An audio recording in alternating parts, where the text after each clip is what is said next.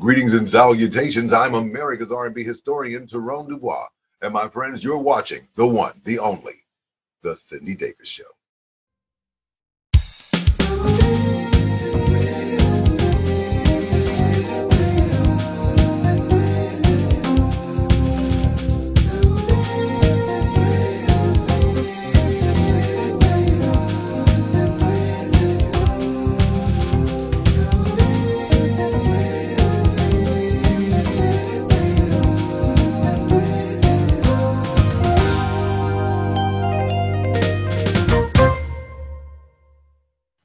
Cindy Davis Evans of The Cindy Davis Show.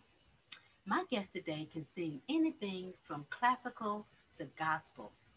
No one puts the soul in soul music like Lettrice. Welcome to the show, Enthroned Records recording artist, multi talented actress, singer, and songwriter, Miss Lettrice Lawrence. Hello, lady. Hi, how are you? Oh, wonderful. Good to see you. Good to see you too. Well, I want to welcome you to the Cindy Davis Show. And um, I, I just I just want to say, how have you been doing throughout this pandemic though? Huh? How have you been doing throughout this pandemic? You know what? I really have to say, God has really been good because I was mm-hmm. able to um went go and work with Andre Pittman, and we got a we got a distribution deal last year through Universal Music Group, and we were able to um, we were able to um, actually get a BMA last year in November, November eighth, and I'm really grateful for that. So we got the BMA was able to get Moonlight Chaser and Lonely Out on this collaboration album called Raindrops Loves Holidays Volume 2. Yeah. And, you know, it was just really great. Now, oh, even though I, had to perform from home, the thing that was great about it was uh-huh. that I performed from home. Mm-hmm. I turned my dining room into a stage, yeah. and uh, my curtain was literally like a stage curtain. I put lights on it, and yeah. I made it interesting, and you know, I learned how to, you know, video myself mm-hmm. and I learned how to do lighting. and I already did my own makeup. So yeah. I pretty much learned how to just do shows here at the house. Sounds like you've been staying busy, and I want to say congratulations to all of your success. Thank you. Your, Thank uh, you. With your new music and and everything. You have quite an impressive resume by the way, too. Uh, you've worked with Barbra Streisand, um, Earth, Wind, and Fire, and uh, you were named uh, New Artist of 2020. Yes. Um, wow. How did how did that make you feel? Well, when Central Stars called me and they said they were honoring, they first of all they had me to sing, and the crazy part is that I thought I was just singing, and they were honoring Ty, Ty, uh, Tyrone Dubois who's a good friend of mine. And he's, you know, of course, he has the, the golden voice, you know, you know, the golden voice that represents the world, you know. And he's fought cancer and overcome cancer just like I have. So we're really good friends. And so when they called me up, I was tearful because I wasn't ready for that. And then he told his story, and I got tearful then too. Wow. And then I sang um, I sang this song, I'm Still Here by Dorinda Clark Cole. And uh, I told a little bit of my cancer story. So we were all crying. The women, the men, we were all crying. So wow. it was wonderful. You also sing classical music, is that right? Yes, I sing opera. I've been singing classical for um, 31 years. Wow. And I was trained 26 years. And I worked with Dr. Carl Snyder but I've also worked with Dr. Joyce um, Sweeney, mm-hmm. and they were the best. They bring the best out of people. Yeah. They were trained for very, you know, very efficiently, and um, I just feel grateful because people like um, Leontyne Price, Kathleen Battle, um, you know, Maria Callas, you know, people of that nature really have touched my life and especially Leontyne. She's my favorite uh, classical artist. What does she and, teach you? What did Huh? she teach you? What did she teach you? Oh, grace, poise. Mhm, Um, her phrasing was wonderful, mhm, and um she was beautiful, of course. But her voice was so powerful, and her, her the way she attacked languages, I just loved it. And I got a chance to see her at her retirement recital mhm, in 1993, and they we were able to actually go behind the stage and meet her. And the thing is, the woman is so, I mean, she's just so elegant, yeah. and I mean, and now she's like uh, 93 years old, wow. and I, I, it's a blessing that she's still here with us. But she has been an integral part of the classical world Mhm, her and, and so many others. Jessye Norman, I love her too. But I think Leontyne is my absolute favorite. I have to say she is. Who is one of your favorite rhythm and blues artists? Oh my goodness. well, you know that okay, Whitney, she started out doing pop, yeah. but she did R&B too.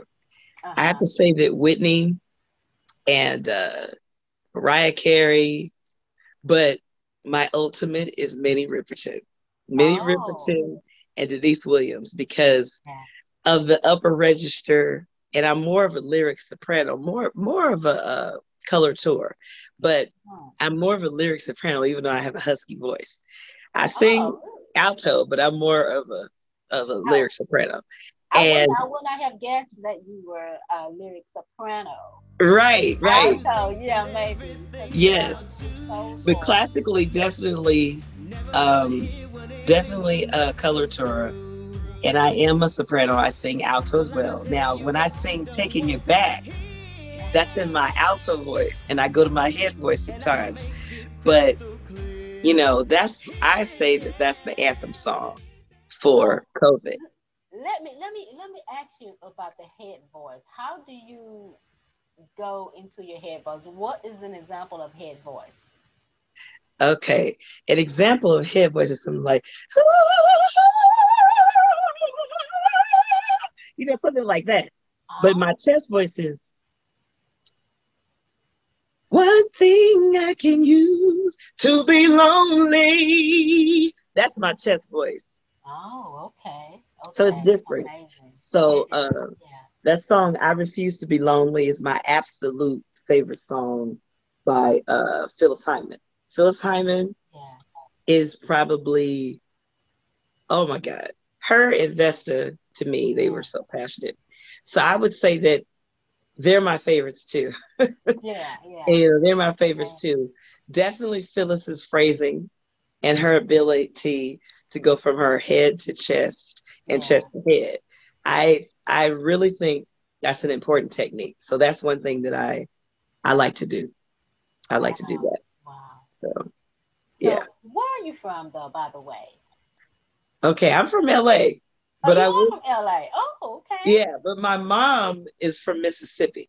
Uh-huh. So, I have a little bit of that Mississippi drawl because of her. Oh no. I was just I was just curious for you know what, uh, was it like growing up in LA? Oh my. Well, everything was fast paced. I bet. And I, I attended um, Dublin Ele- Elementary School. I did a lot of singing there. You know, a lot of, since I was eight, I would do plays and shows and, you know, all that. And um, I played the piano. I uh, had classical piano lessons from six on. And then my dad was, um, he was a retired retired airman. You know, he was retired. Um, he was a serviceman, Oh, and he worked for the post office for 31 years. oh okay. My mom worked for the post office, and she decided to be a mom and work at the schools that we were at, so she could watch us. So she was a home mom, so she would bring us lunch to school and all that. So I was at, I went to Transfiguration yeah. um, Elementary Schools, Catholic school, right across the street from my house. oh, and we lived wow. in the Leimert Park area in a very beautiful uh, four bedroom home. Mhm. And uh, we, uh, I also attended St. Mary's Academy High School and Mount St. Mary's College. So I went to Catholic school pretty much my whole life. Wow. And um, but LA is very fast paced. yeah. And Okay. I, as I've gotten older, I have slowed down. so I like quiet. So I live in Yeah. Wilmington, close to Torrance now, but I like quiet opposed to you know fast paced. And LA is very no- noisy. I will say that, yeah. and we always have something going. But lots of people like to come here, like they do New Yeah. York. Yeah. I've traveled all over the world, and um, and I have gone to different places singing, and I've gone to um, I've gone to the Netherlands and sang at the De Spiegel uh, Mhm. Auditorium, and also I was planning to go to Greece before you know the pandemic hit, and so I was very disappointed about that. And I was supposed to go to Carnegie Hall, which is one of my Mhm. dreams. Oh, you know, wow. so, uh, you know, it's okay. This is what I tell everybody. We're gonna do it. We're just on a um, a pause right now. God put us on a pause for a reason. Yeah. I think we were put on a pause so we could take a breath Mhm. and start again. Because a lot of us were doing way too much. I know I was. Yeah. and a nonstop. reset, Right. Yes, nonstop. Yeah. So this has been a, a time of reflection, a Mhm. time of prayer, Yes. a time of renewal.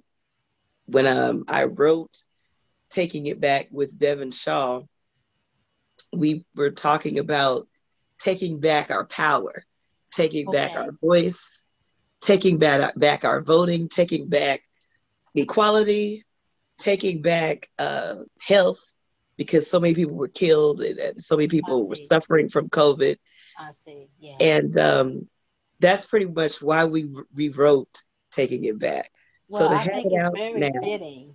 huh? It's very fitting. Thank you. So take so having it out now Yeah. and being with Enthroned Records and being with Andre Pittman has been refreshing. And he's been a friend of mine and he's worked with me with this music thing since 2014 and he's just a great guy. We met actually um we had a gig with Giovanni, not Uh-huh. Giovanni.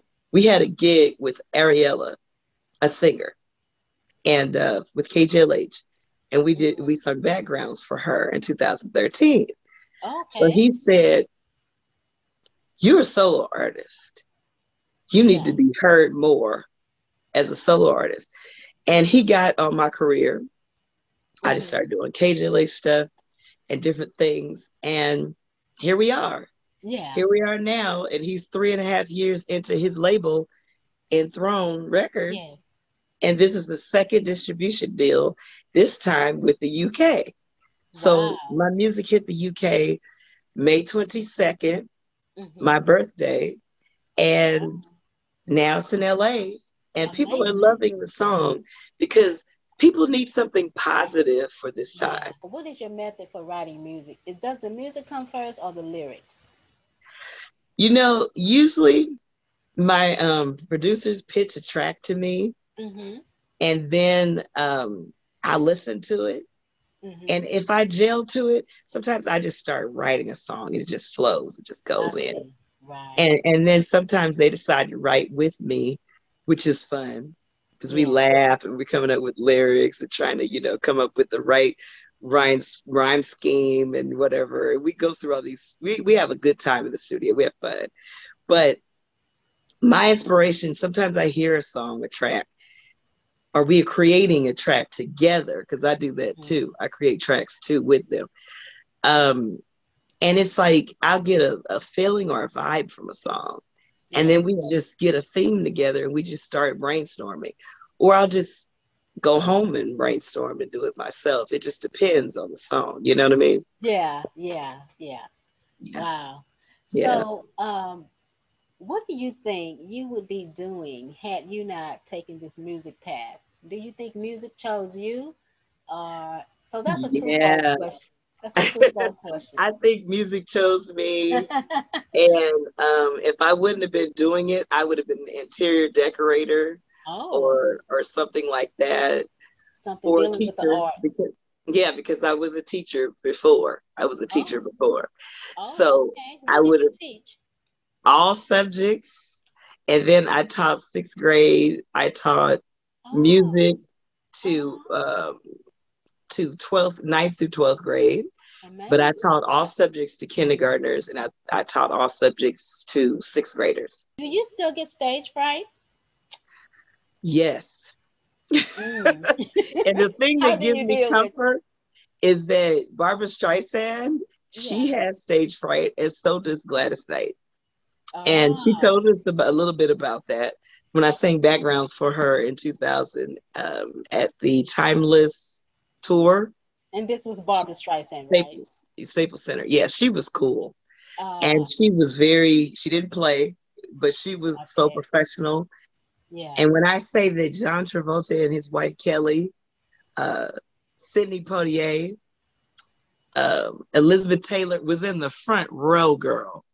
So they went backstage and met us, and I was like, I mean, I think I I did, I died when I saw Elizabeth Taylor and when I saw Sidney Poitier, but when I saw that big, tall John Travolta walking towards me, I was like, oh my god, oh my god, and I had to take I had to play it off completely.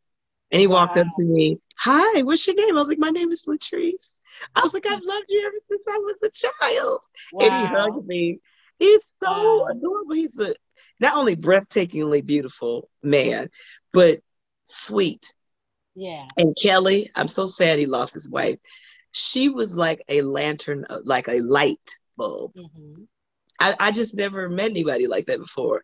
You know, when you meet a person and you just they imprint in your life and you their, their soul is beautiful. Yeah. Yeah. Her soul was beautiful. wow. And um, that was a great opportunity.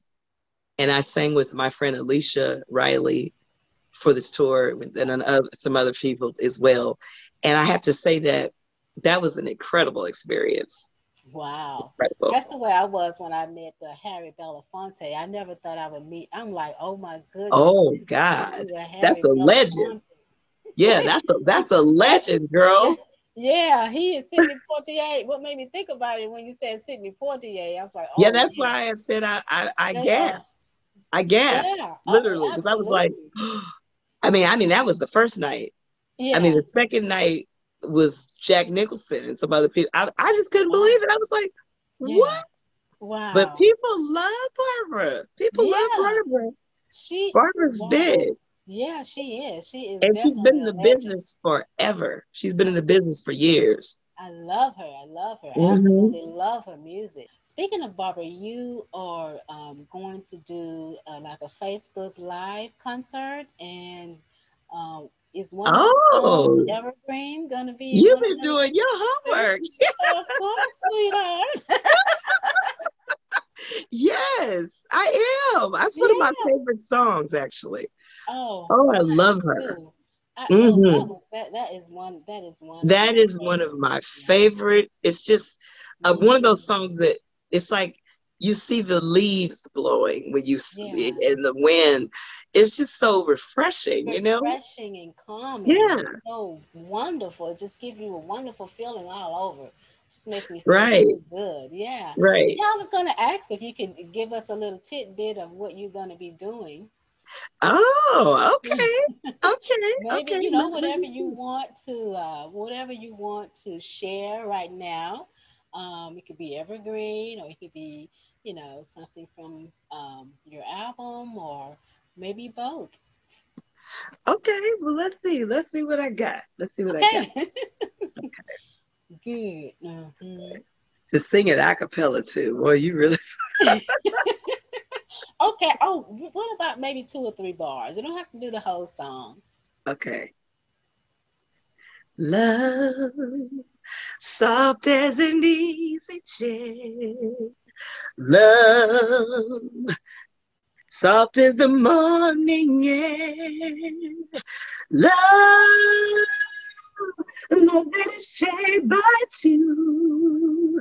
I have found in you.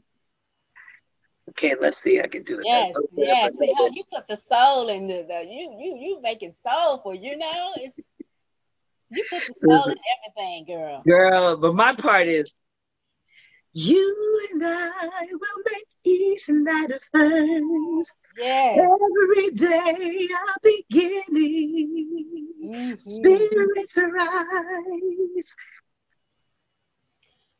And a love that's unrehearsed. Yes. Fear and excitement. We can hide deep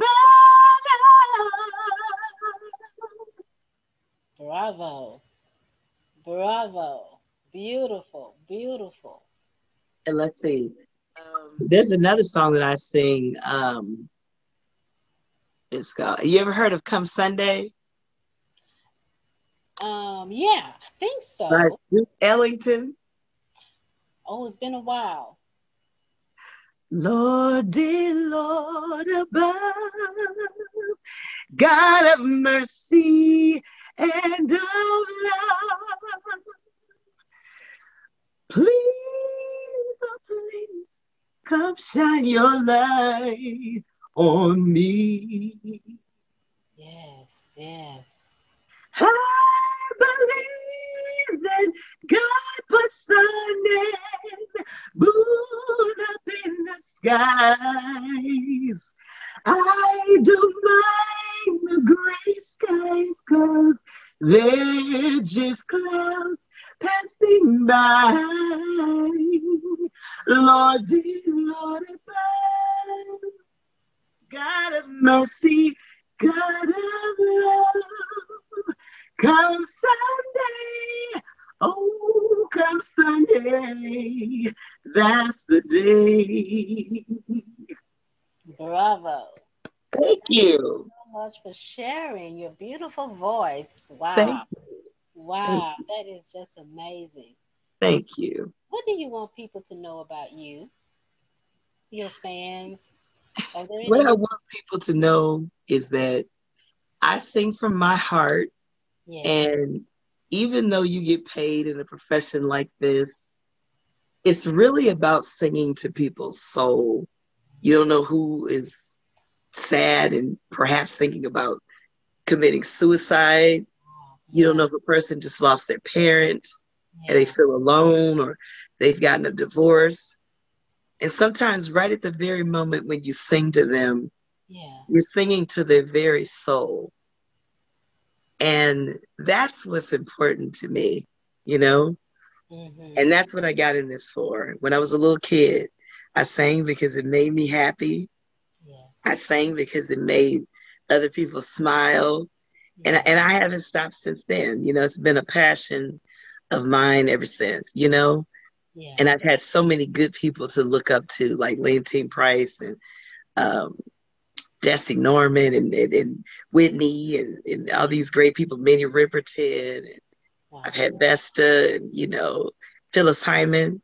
Mhm. And I just like to ask that you guys appreciate musicians and singers because Phyllis started getting older. Mhm. She gained weight. The record company dropped her. Mhm. The love of her life dropped her. And she killed herself. Yeah. So there's lots of musicians that don't feel appreciated. They feel underappreciated. Mhm. So go out and support people and download their music. Right now, even if it's just downloading their music and sharing their music to other people's pages, yeah. bless other people with the legacy that they've left or the legacy that they're building. That's what I would love to share with you guys, you know, and go out and download Taking It Back. Throw that in. Taking it back. Yes, absolutely. Thank you so much for sharing with us. It's been a pleasure speaking with you, talking with you, and uh, just just fellowshipping with you. It's just it's just been a, a real blessing. I'm honored, Dr. Cindy. You've been a blessing to me today, and I'm really glad that I was able to come on your show. And you know, I was looking at your your your show and your page, and you really are blessing us entertainers and and entrepreneurs that's out there. So thank you very much for having me. You are so very welcome. You are so very welcome. Thank and I just you. want to say thank you all for tuning in. And until next time, this is Cindy Davis of the Cindy Davis Show. God bless you.